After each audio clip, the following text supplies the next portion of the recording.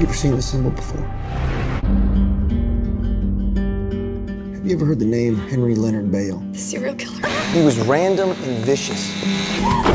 I saw the news. You got him. I got him. You have something that don't belong to you, detective. I have to have back that item. You've seen this. Have you ever heard of a worry doll? Sure, they're like children's toys. No, not all of them.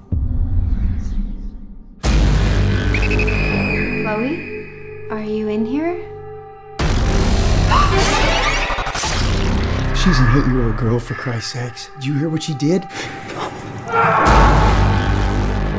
What is this? I can't explain that. What can you explain? I could see the darkness already growing in power. A man who had only known pain and hate remains in those dolls.